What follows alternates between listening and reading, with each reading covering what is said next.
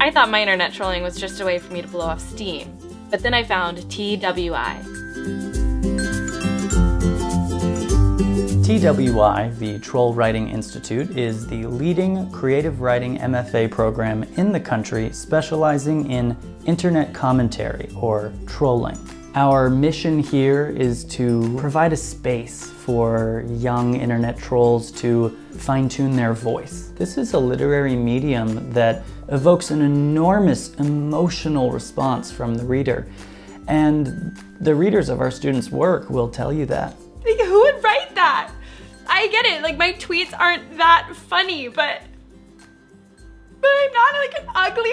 One thing that distinguishes TWI is its exceptional faculty. Uh, the professors are themselves some of the top trolls in the country, and students get the chance to workshop material with them. So what comes to mind?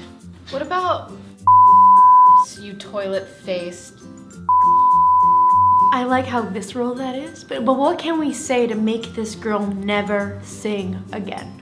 What about, um, you look pretty for someone who eats buttholes for breakfast? Yeah, of course it affected me as a reader. What kind of question is that? It was a horrible thing to say. Wait, what is this interview even? We have a core curriculum of blog wars, video commentary, and message boards and then a senior seminar on psychological manipulation. Another tool in your basket is to uh, use underlying insecurity that can give structure to the insult. So for example, what insecurity might a New York City-based actor like Jack Frederick have? Uh, he doesn't have a list, but we could say he has a list. Great, great. No, I, I, I, you don't let these things get you. I'm, I'm, I'm a, a, I'm an actor. You know, I try not to let these things get under my skin, skin, skin. One of the hallmarks of our program is the belief that literature should be an interaction between author and reader. And our students often find that their readers actually want to engage.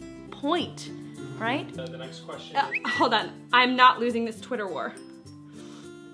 Oh yeah?